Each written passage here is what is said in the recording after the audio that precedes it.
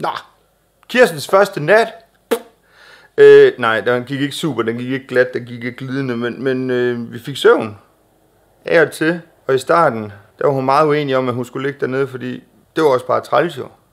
Men så tog jeg hende lige og flyttede hende over hendes seng, og så, pff, så faldt hun til ro. Det er ligesom om, at, at bevæger man sig for meget, jeg ved ikke, at, at, det er lidt ligesom at sove ved siden af en til at starte med. Så er der alle de her rutiner og vaner og sovemønster og snork og alt det her, man lige skal vende sig til fra den anden person.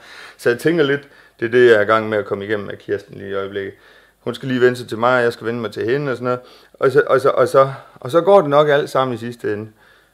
Fordi lige nu der var hun i gang med at lege, og nu er hun væk. Men jeg skulle også lige, fordi hun, og det så så hyggeligt ud. Men det skulle hun så ikke. Så vores første nat er kommet igennem, og hun havde sin første tistår, to, hun havde to tidstår inden for i går.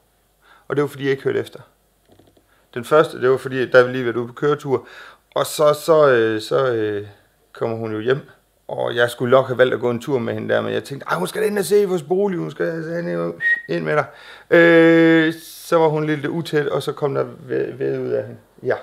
Så, så øh, nummer to tår, det var så, fordi jeg ikke hørte efter, fordi der havde hun faktisk sådan set fortalt, at hun gerne vil ud på en eller anden måde. Ved at stå ude ved hoveddøren, og så kommer det ud, og så sagde hun piv piv, og så, så sagde hun, Nå, hvad er der nu galt? Og, sådan, og så gik jeg min vej igen, og så var den sidste år efter kort tid over på. Så bjeffede hun, øh, piv hun lidt igen, og så tænkte jeg, okay, en tistår, det er første alarm på, at vi skal noget andet også.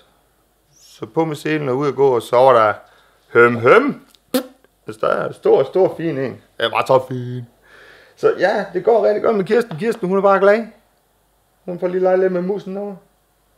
Jeg får lidt tyk i halen, tror jeg. Der, hun har haft gang i noget boldspil. Jeg ved ikke, om, om hun er i Manchester United eller AGF. Det er ikke til at vide. Men hun får spillet noget boldspil. Og pivdyrene, dem har hun sådan lidt her til morgen, der var vi lidt nervøs over for, hvad det var for noget. I går aftes står det helt okay.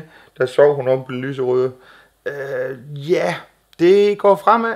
Vi er oppe på, ja det må så være dag 1 faktisk. Fra, fra morgen til, til aften. Og den er kun lige startet klokken, den var 6.20. Vi har været op i en cham. En hel cham har vi været op i, ja. Og der er fuld smæk på. Og hun fik mad i går, og den har hun stadigvæk i dag. Det ser ud til, at den bliver delt op i tre, pro... tre portioner.